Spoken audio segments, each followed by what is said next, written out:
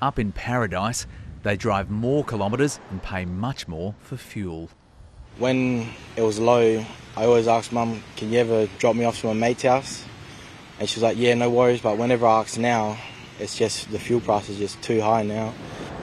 In remote Broome, almost $2.50 a litre for fuel.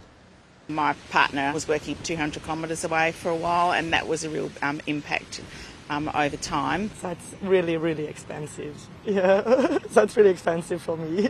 I was really surprised. I was really surprised. We both have to use our vehicles for work, so yeah, it makes it makes a huge difference. Soon, all of Australia will be paying more too. So we just have to grin and bear it. The reality is we're staring down the barrel of six month highs uh, at the Bowser.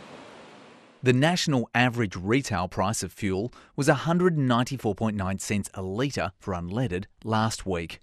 Driving the price, conflict in Ukraine and the Middle East, an improved Chinese economy, and production cuts by the OPEC cartel. Crude oil has soared by a quarter in the past two months, and that will flow through to pumps within weeks.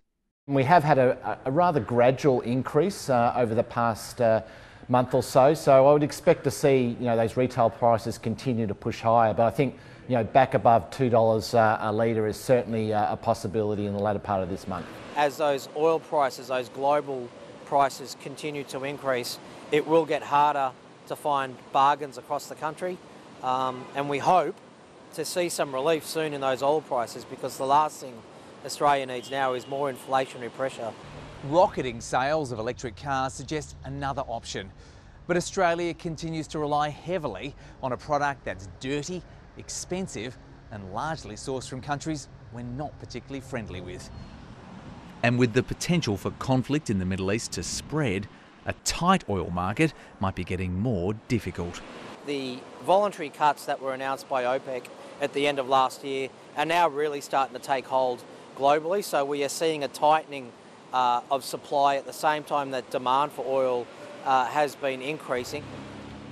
None of this makes things easier for people filling up. For a while, banks were the target of many people's frustrations, and now um, supermarkets are the targets, and I think fuel companies will probably be next.